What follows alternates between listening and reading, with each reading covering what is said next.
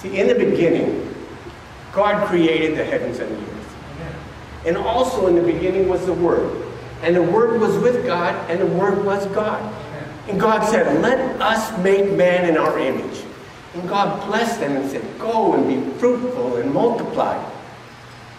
But instead, all men like sheep gone astray. Each of us turned to his own way. And the Lord caused the iniquity of us all to fall on him. All sin falls short of the glory of God.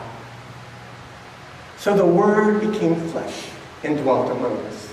For God so loved the world, He gave His only begotten Son, that whosoever believes in Him should not perish but have everlasting life. See, the wages of sin is death, but the free gift of God is eternal life through Jesus Christ our Lord. Jesus said, I am the way and the truth and the life. No man comes to the Father but by me. Believe in me and you will receive everlasting life. Behold, I stand at the door and knock. If any man hear my voice and open the door, I will come into him and will dine with him and he with me. These things I have written to you who believe in the name of the Son of God, that you may know that you have eternal life. So how should we live? Trust in the Lord with all your heart. Lean not on your own understanding, but in all your ways acknowledge him, and he will direct your paths. Be anxious for nothing, but in everything by prayer and supplication with thanksgiving let your requests be made known to God. And the peace of God, which surpasses all comprehension, will guard your hearts and your minds in Christ Jesus.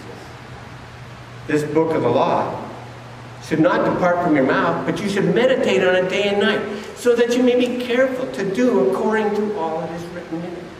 For then you will make your way prosperous, and then you will have success. Let us consider how to stimulate one another to love and good deeds, not forsaking the assembling together, as is the habit of some, but encouraging one another, and all the more as you see the day drawing near. Go into all the world and make disciples, baptizing them in the name of the Father and of the Son and of the Holy Spirit, teaching them to observe all that I have commanded you.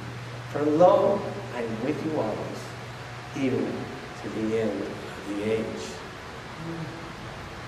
That's not the rest of the story, because Christ died for sins once for all, the just for the unjust, in order that he might bring us to God, having been put to death in the flesh, but made alive in the spirit. He saved us not on the basis of deeds which we have done in righteousness, but according to his mercy, by the washing of regeneration and renewing of the Holy Spirit. It is by grace you have been saved through faith, and that not of yourselves. It is a gift of God, not as a result of works that no one should boast.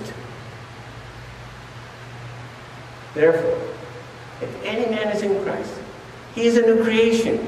The old things have passed away. Behold, new things have come. I have been crucified with Christ, and it is no longer I who live, but Christ lives in me. And the life which I now live in the flesh, I live by faith in the Son of God, who loved me and delivered himself up for me. So I urge you, therefore, brethren, by the mercies of God, to present yourself a living and holy sacrifice, acceptable and pleasing to God, which is your spiritual service of worship. And do not be conformed to this world, but be transformed by the renewing of your mind, that you may know what the will of God is, that which is good and acceptable and perfect. And do not love the things of the world, for all that is in the world, the lust of the flesh, the lust of the eyes, the boastful pride of life, is not from the Father, but is of the world. So how can a young man keep his way pure? by keeping it according to the word. Thy word have I hid in my heart, that I might not sin against thee. You see, all scripture is inspired by God and profitable for teaching, for reproof, for correction, for training in righteousness. And now we have received not the spirit of the world, but the spirit was from God, that we might know the things freely given to us by God. And you will receive power when the Holy Spirit comes upon you, and you will be my witnesses in Jerusalem and Judea and Samaria and the remotest parts of the world. For this, I am not ashamed of the gospel, for it is the power of God for salvation for everyone believes. Amen.